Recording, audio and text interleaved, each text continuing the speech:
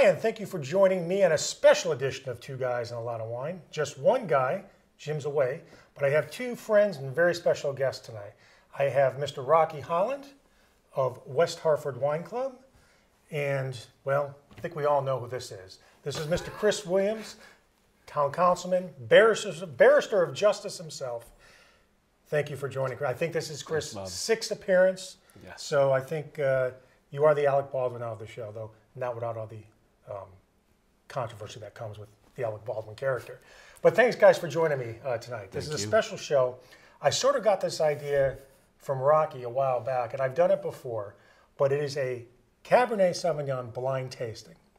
And I'm sort of going to be the Monty Hall tonight. Uh, I don't have Jay Stewart or Carol Merrill with the doors at or those curtains, but we do have nicely wrapped up aluminum foil bottles of four different cabs. I have a California, I have a French, I have a Chilean, and I have a Spanish. And behind one of these silver linings might be a gem, or they all might be zonks. We're going to let all our palates decide. And I cannot remember which is which. So I'm going to be right there and with you, and we're going to have some fun. And uh, hopefully, there won't be any zonks tonight. So, Rocky, thanks again for joining. I know this is your second appearance on the show. And uh, I want to do a little discussion about the West Hartford Wine Club and also what you've been involved in before we even get into the tasting in regards to wine culture. What's the big thing going on right now? Uh, well, I've got the West Hartford Wine Club, uh, but I am currently studying to become a certified sommelier. I've yet to take intro, but uh, there's four levels: intro, uh, and then the certified, and then advanced and master. Uh, but I hope to take certified. So what I've been doing is a lot of blind tasting because that's one of the things that you have to do in order to pass certified. Is you have to be able to uh, take a glass and tell what's in the wine by just there's a five-step process. You look at it, you smell it, you taste it. You got initial conclusion, final conclusions. Uh, So I, I think Rocky might have a little leg up on us today, but I can guarantee you, Rocky, there is no hundred dollar bottle of Cabernet here. But who knows? There could be something that surprises all of you. it us. would not surprise me if you guys got So- everyone right and I missed them all. Believe me. So our first one, which is labeled number one for our audience, and we'll do the unveiling at the end of the show, is obviously a Cabernet, and um, right off the bat, I mean, it's a nice dark, dark to medium dark color. I think it's a moderate bouquet.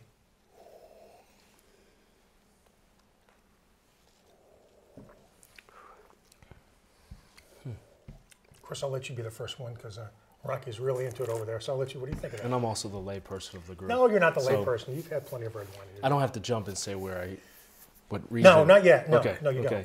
Um, I like it. It's a little uh, dry, I think. Um, It is dry. from my perspective, a little more dry than I typically like, but it is good. I like it. Uh, it's maybe a little bit of dark chocolate in there. Um, so I think it's good. I want to go A plus. You go A plus. I, Right I said I would not go Oh, A okay. I plus. say yeah. Uh, so I would say, you know, B, B. B. I would Okay. say B. Rocky. Solid B, yes. Solid B. Okay, there we go. Yeah, it- it's it's it's, good. not It's- offensive. It's certainly. Um, I mean, if somebody served this to me or I had a glass at a restaurant, I wouldn't be offended by it. It's not very complex, but it certainly is is a very drinkable cab.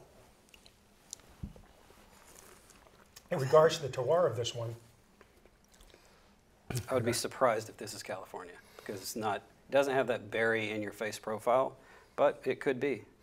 Yeah, and that's and Rocky. Uh, that's a good, good point. A lot of Californians do have that berry.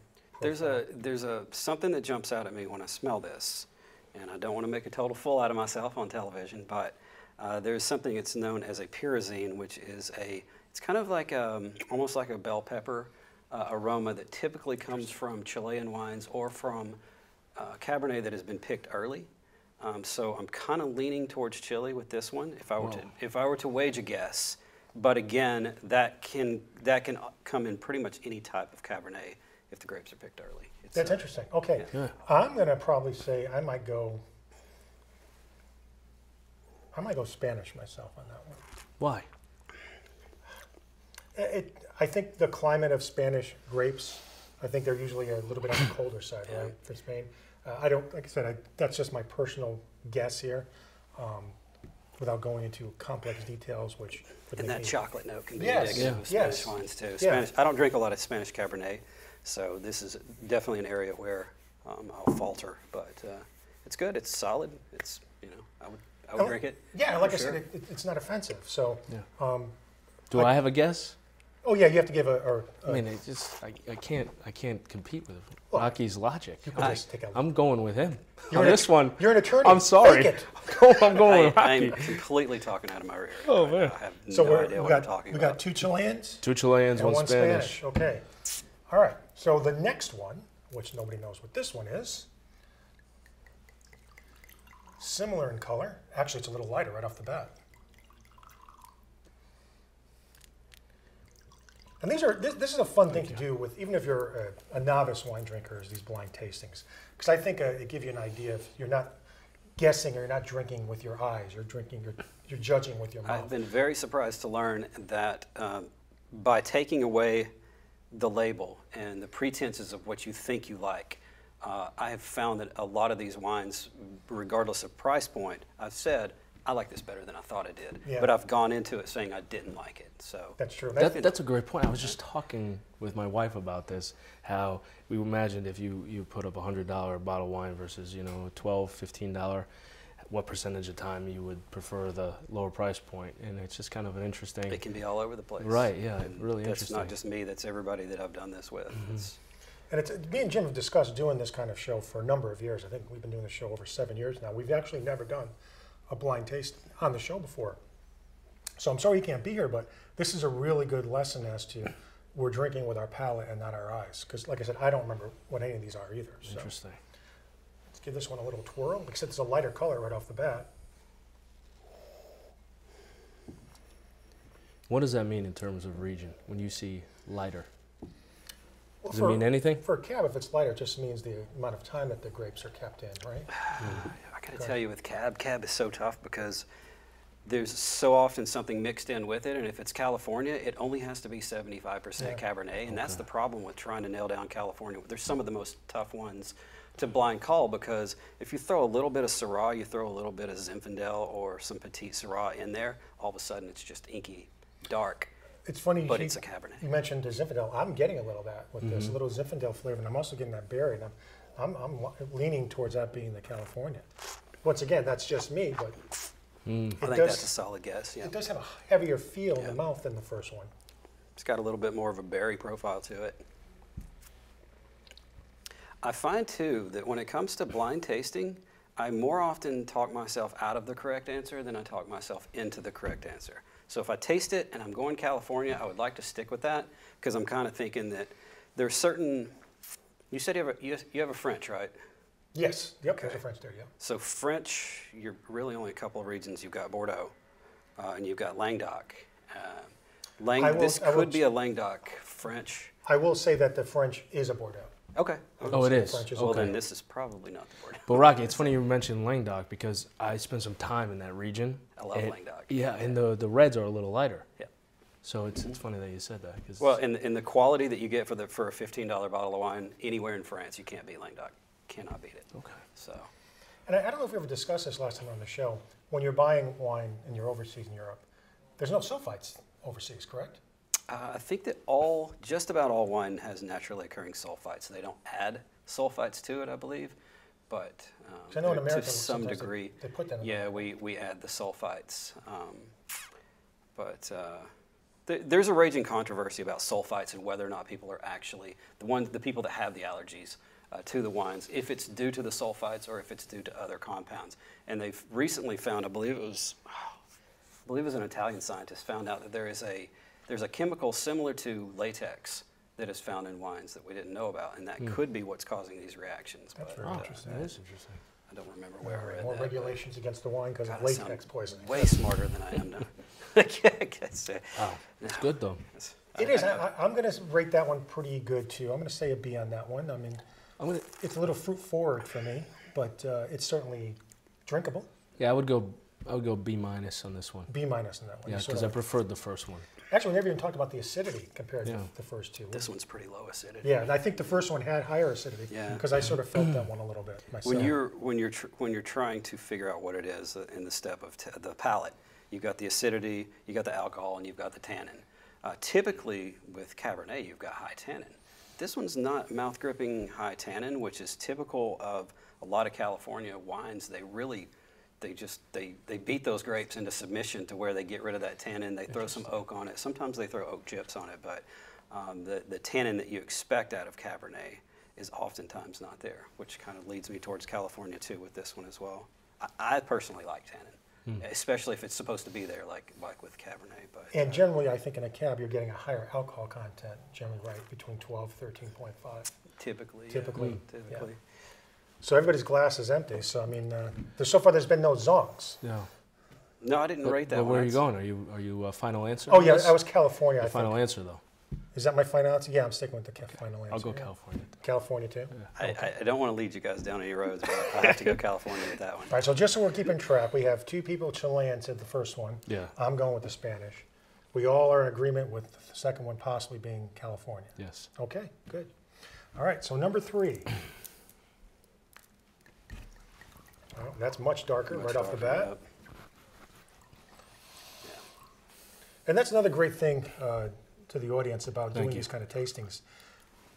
Seeing the colors of the wine being so different, and we're all we're, we're drinking cabs. These are all cabs, and Right. they're so noticeably different. This one, this one's got kind of a plummy characteristic to it, dark plum.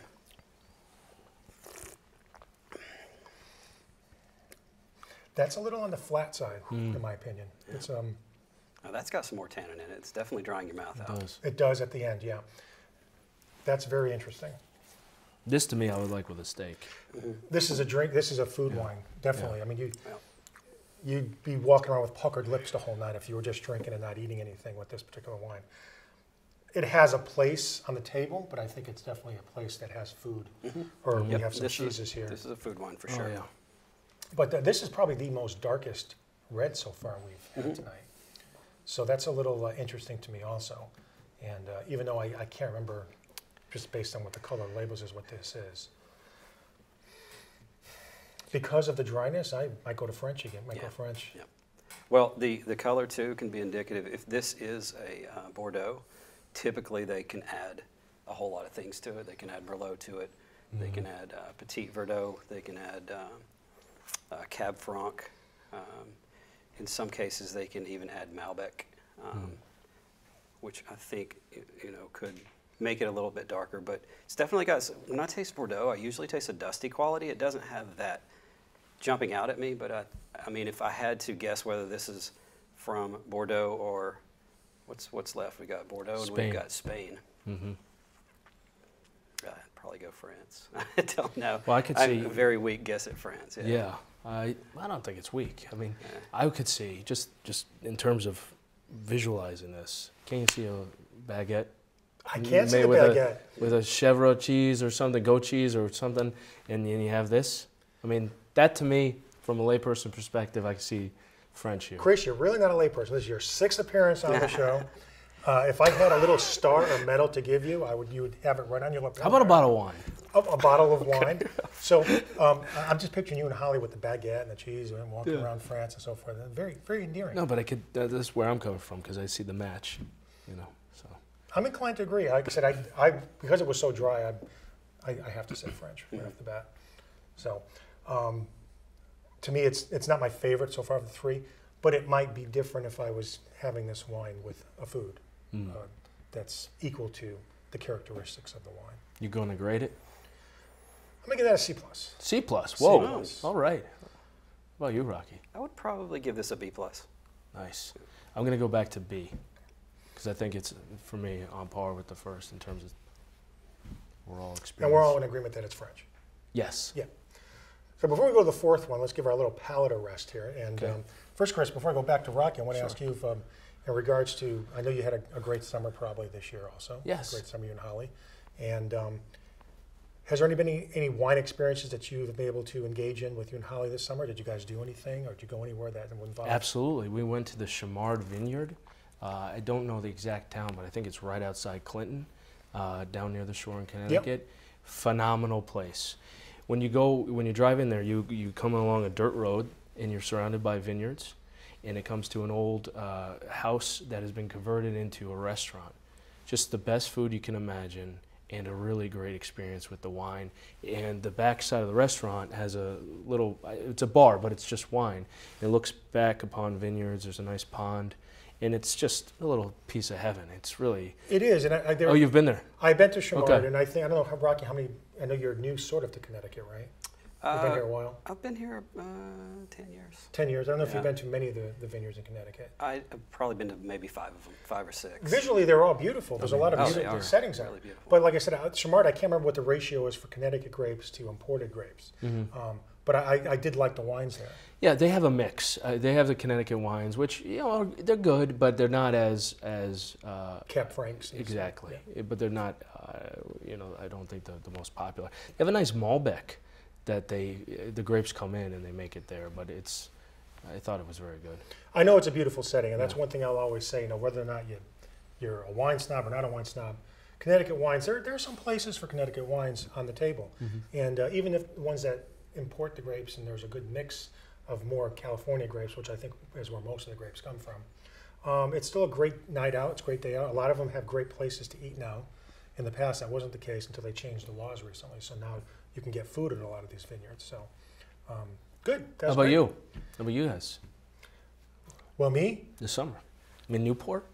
Well, yeah, I, I, I- obviously it's just the summer is usually always involving some sort of drinking, sailing, or activities going on in Newport. And you know, I don't like talking about that too much because you know people get disgusted with me hearing about it. So, so Rocky, what about you? I mean, what, what's your big thing this summer? I know rosés have been popular. We've done Yeah. rosés. Uh, what are, what's I, I definitely have gotten into rosé, and I never thought I would do that. But uh, the Whispering Angel, uh, we we have been uh, drinking a lot of that. But the Provincial, it's the it's the Grenache uh, Syrah Mourvedre blend uh, coming from Provence, made into a rosé. I've really gotten into that one. I, that's about the only rosé that I can take. Um, I'm not knocking rosé. It's crazy popular right now. Rosés are going nuts. Uh, I, I will say mostly it's French rosés too, Yeah. also that I like. Yeah. I've tried the. There's one that's called Black Ink that I tried just recently. It's a little too fruit forward. It's a little too sweet for me. So if you do like rosés, or if you're getting into the market for rosés, I would try French first because it's such a unique, different drinking experience, Yeah, and it's to me it's more enjoyable. But I don't want to turn anybody off to any other styles of rosés. So um, just give them all a shot and see what tastes best to you. All right. So our palates have taken a little rest. Sure. So we come to number four. Now, the, this color goes back almost to the first one. Not quite as dark as what we think the French one was. A little bit clearer.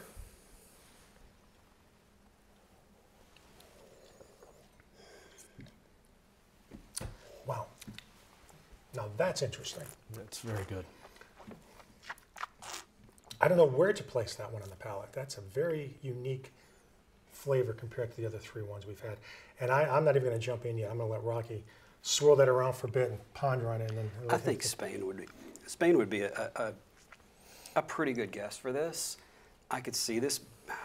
my goodness, I, I could see this being California too. It doesn't really jump. You know, California wines tend to be more fruit forward. This has got more of an earthy feel to it. it sure does. So I think Spain. I think Spain would be a pretty solid guess for this. If this was the first one I was drinking, I would probably go with Spain for a guess. But Go ahead. Uh, Yeah, it's, uh, this is so unique.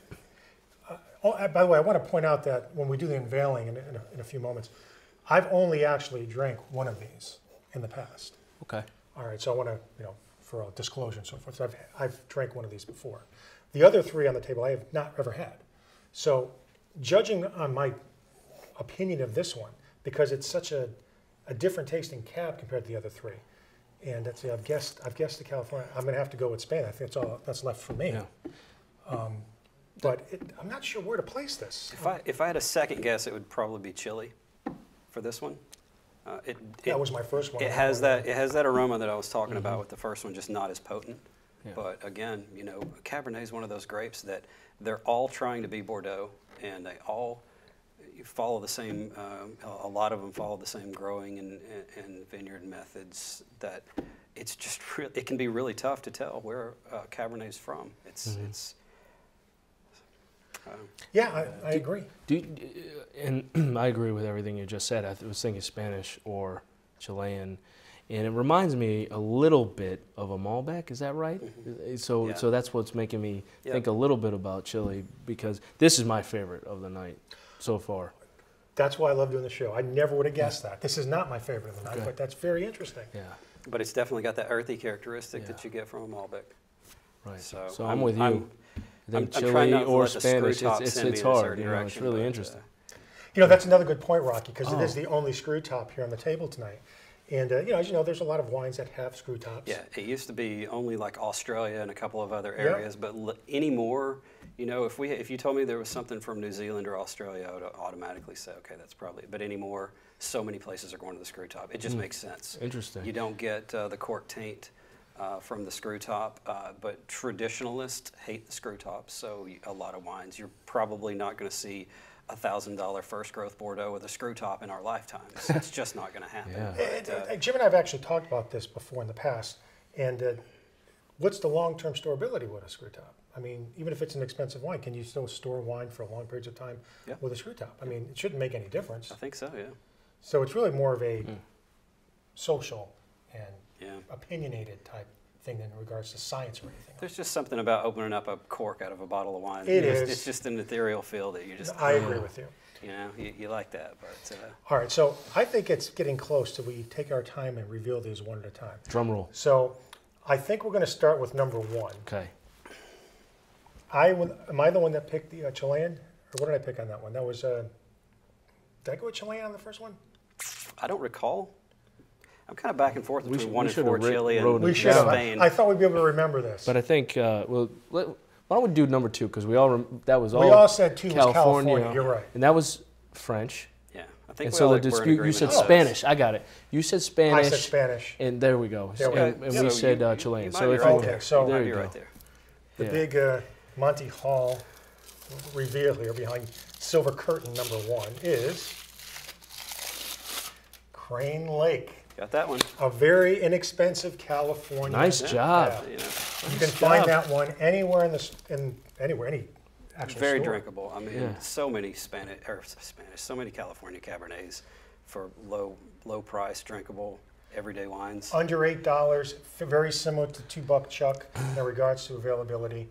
Very interesting, but it's another example of why that is easy to drink, not overly crazy, and uh, um, there you go. Great Okay. job. Great right. job, team. All right, so I think we're on number three now. Yeah, that was everyone said French, right? I Everybody we said yeah. French, and the big review for number Bordeaux three or is, Bordeaux. is the Hey. Adepto Bordeaux. Oh, That's great. that? Yeah. And Two this- for two. We're It two is. for two. And uh, it's another example of an inexpensive Bordeaux that's available. You might have to look around for it a little bit. Uh, under $12 usually. And um, we all seem to somewhat like it. I think I only gave it, did I give one of my lower grades? A C plus. I A think. C plus. Yeah. So what's left now are the two end caps. So I think we had Chilean or Spanish. So you said Spain for this. I said Chris Spain and I for said that. Ch- Chile. So Yeah. So we'll go number here's one. to find out. All right. Here's, to find, here's for all Here the we money. go. I don't look anything like Carol Merrill, but here we go. It's, Colchagua Valley. it's Chilean. All right. Oh wow. Oh my gosh. I don't know if you ever had the Carmentina, Holy crow. but uh, I have not, but another relatively everything that I would expect out of Chilean. Cabernet. inexpensive cab. I think it's uh, the 14 or below price range, wow. but um, very good. So I think we all know what this one is. Process of elimination. Yeah. So does the fact that there's a screw off top surprise you because it's Spanish? Or no? No, not really. Okay. But I could tell you a little bit about this one. This is the El Torito cab. Very inexpensive cab. You can find this most places in West Hartford. Some of the bigger stores, under nine dollars. Really? Yeah. Okay. And uh, once again, another classic example of why drinking blind without getting predetermined opinions about things is so much fun. Really because fun. none of these wines are over $15. Most of them are under 10 So, very interesting. And I could drink any one of these wines. Yeah. There's, Yeah. there's not one that I would say, oh, no. I can't There do isn't, that." and that's what's so fascinating about wine because a lot of times so many of us drink, even myself sometimes, with our eyes instead of just using our palate. Yeah. So, It's also great because it's it's if you have people over, it's a great thing to talk about. it is a great You thing know, to talk about. during that we got sort of the holidays coming up, right Yeah. right around the corner, and and you know you have people around and you, Do a taste test. But I will say, uh, I know you gentlemen will be coming to a- another wine tasting party soon. There'll be no- nothing covered.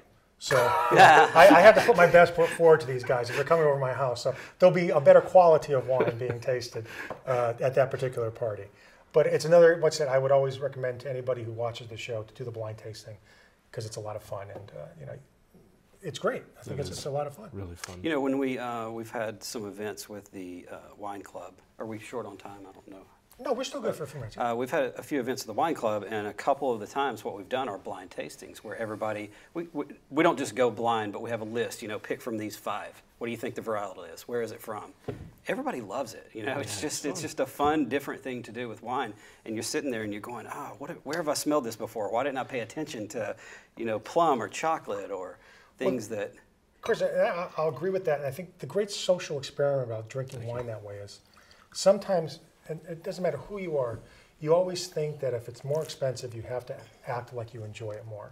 I've had wine with so many people that you know, 30, 40, 50 dollar bottles of wine, and they, they say, oh yeah, it's really good, it's really good. And then I found out later they didn't really like it at all.